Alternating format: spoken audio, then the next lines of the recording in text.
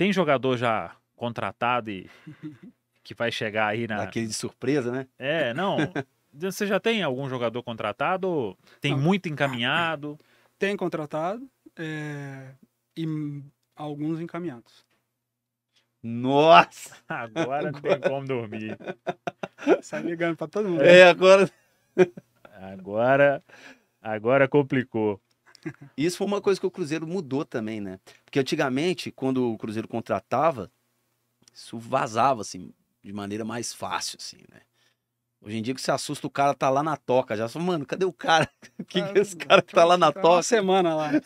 Faz parte também de um trabalho de, de blindagem, assim, talvez, né, Pedro? Não, eu, eu entendo, é aquilo, eu reforço, né? É, a gente tem que valorizar muito o trabalho da imprensa, principalmente a imprensa séria, o trabalho que vocês fazem. Mas do nosso lado, a gente também, qualquer tipo de vazamento que acontece, ele atrapalha muito uma negociação. Principalmente quando não está assinado, né? Isso é, acaba é, trazendo algumas travas para a assinatura. Pode aí ter uma mudança de última hora numa negociação. Então, o quanto a gente proteger essa informação, você está protegendo o clube.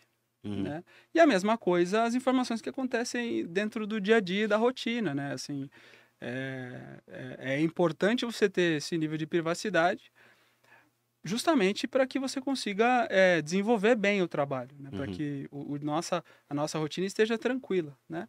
E é óbvio que com vocês é, indo te- é tendo essa abertura que a gente tem, às vezes abre o treino, é, a diretoria vem falar com vocês. Eu acho que é, essa é a maneira que a gente quer lidar é, com, com a comunicação aí do clube.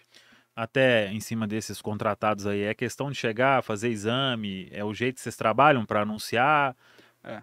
É porque é, a, gente, a gente tem um protocolo ali, né? De antes de assinar contrato, ele precisa fazer todos os exames de- do, dentro do clube, né?